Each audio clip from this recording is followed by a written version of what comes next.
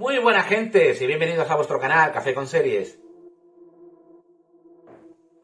Pues el día 9 de abril ha llegado a la plataforma de streaming de Netflix Mañana o Tomorrow, un nuevo K-drama, un nuevo dorama, una nueva serie coreana de fantasía, eh, un drama fantástico que hemos podido disfrutar de los dos primeros episodios, Flores que caen uno y Flores que caen dos, y como siempre vamos a hacer unas primeras impresiones, un análisis, una opinión, un resumencillo de lo que ha pasado en estos episodios, y ya sabéis, si os gustan este tipo de vídeos podéis suscribir, dar a like, activar la campanita para que siempre avise cuando haya un vídeo nuevo y comentar. Comentadme abajo todo lo que queráis, qué os ha parecido vosotros la serie, os está gustando, no os está gustando, todo eso me lo podéis dejar en los comentarios, que para eso están. Nada, vamos al lío, pasamos a la review Café con Serie vuestro canal mientras vosotros queráis.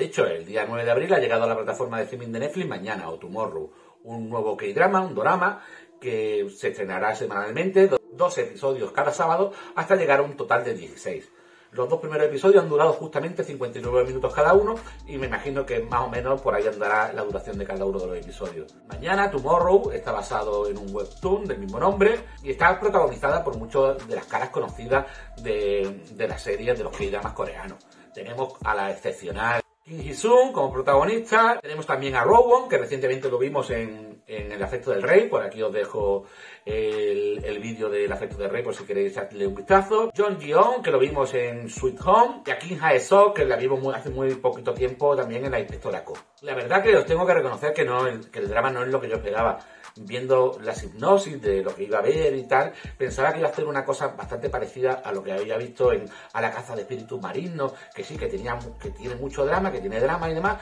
pero que también se enfoca en la comedia y es muy divertida. Esta, a pesar de que también tenga sus momentos cómicos, sus momentos divertidos, es mucho más dramática y la verdad que tiene mm, unos temas muy de trasfondo muy serios y muy importantes que, hacen que la serie tenga un carácter bastante más duro. La serie comienza eh, presentándonos al personaje de Jung Won, que es al que interpreta a Ru Won, que es un joven que está haciendo una entrevista de trabajo. Parece que la ha clavado, pero al salir se da cuenta que la rival que tiene para el puesto de trabajo es ni más ni menos que una de las hijas de los directivos de la empresa. Así que lo rechazan y es un rechazo que se acumula a bastantes otros que lleva se va a tomar unas copas con sus amigos y va dando un paseo. Pasando por un puente de como una persona parece que va a intentar suicidarse, en un primer momento parece que lo va a dejar pasar, pero no puede hacerlo e intenta impedírselo. En medio de todo esto aparecen dos personajes extraños que le piden que se vaya. Él no lo hace y accidentalmente cae junto a esta persona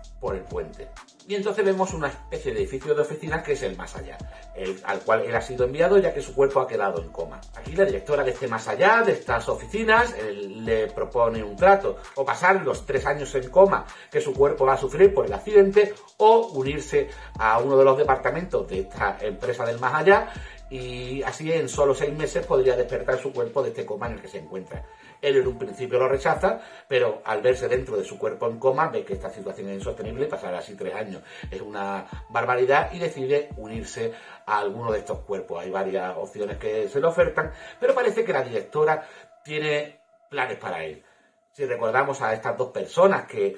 parecía que querían evitar que él salvara al hombre que se iba a lanzar desde el puente, forman parte de uno de los equipos de, esta empresa, de esta empresa del más allá. Yumadeun, que es así como la denomina. Por un lado está Gorrieun, que es una especie de ángel de la muerte, que viene desde el infierno, y Lin Rungu, la líder de esta empresa, la emperatriz que hemos hablado anteriormente, eh, reúne a todos los líderes de las distintas secciones y le habla que hay un gran problema en Corea,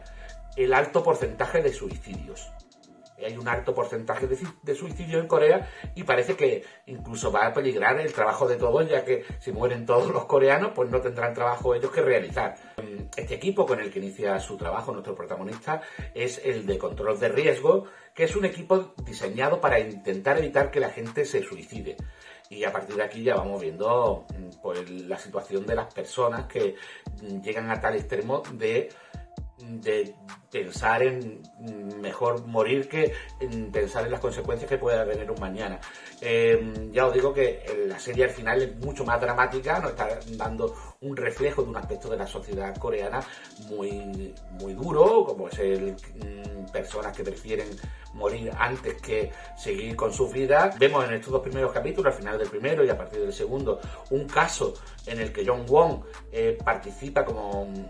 acompañante de este grupo de control de riesgo y vamos viendo a una chica que sufrió bullying desde el instituto mm, muy maltratada concretamente por una compañera y ahora que se dedica a guionizar un programa de televisión coreano eh, vuelve a reencontrarse con su acosadora y le vuelven a saltar todos estos recuerdos de los malos tragos que pasó. De hecho, con una llave de la memoria, nuestro equipo eh, se introduce dentro de sus recuerdos y vemos todo lo que Ye Wong hizo sufrir a Eon B cuando eran mm, compañeras de instituto.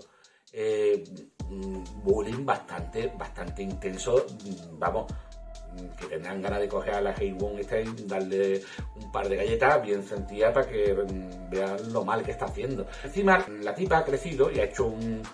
webtoon sobre una chica que va apalizando a los que hacen bullying. Eh, todo lo contrario de lo que fue ella de alumna.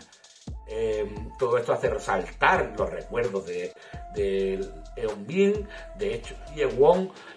cuando le dicen las otras compañeras que también le hacían bullying a Eun le dicen que es ella, eh, vuelven a, tratarla muy mal y está a punto de suicidarse. Esto lo evitan nuestro equipo de control de riesgo vemos como Jung Woo actúa de una manera un tanto impulsiva. Cuando están dentro de la memoria no pueden actuar en ningún momento, pero él no puede dejar que un B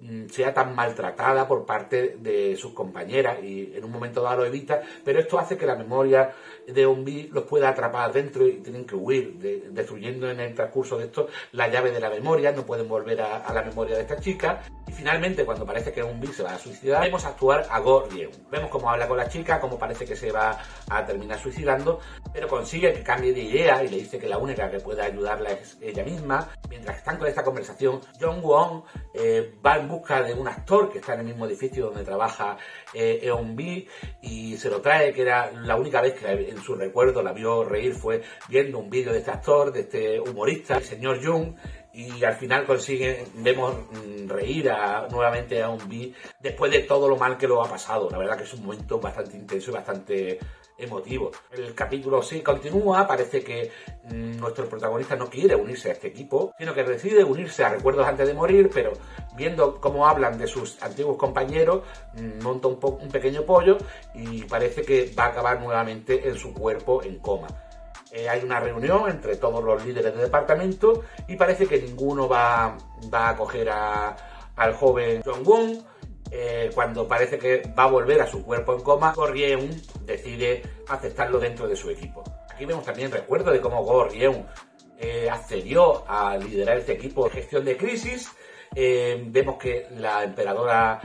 Jade tuvo mucho que ver con que ella consiguiera este puesto. Y vamos a ir viendo porque parece que ella tiene que salvar, ella tiene un propósito eh, que es salvar a alguien en concreto. La verdad que una serie bastante más dura y bastante menos comedia de lo que pensaba, pero sinceramente está bastante bien, las actuaciones están geniales, las actuaciones todas muy bien, los efectos están bastante solventes también, nada que reprochársele en ese sentido, buen guion, mm, sigue un webtoon, así que imagino que más o menos será similar a lo que se pudo leer en su momento y, sí que es verdad que al principio me costó cogerle el tono a la serie porque mm, empieza con un inicio un poco así muy broma, muy tonto, y después se pone tan serio de golpe y porrazo que, que me quedó un poco descuadrado, pero en cuanto le coge el tono y sabes que estás viendo un drama que realmente, aunque tenga momentos de comedia, es un drama muy, muy dramático, eh,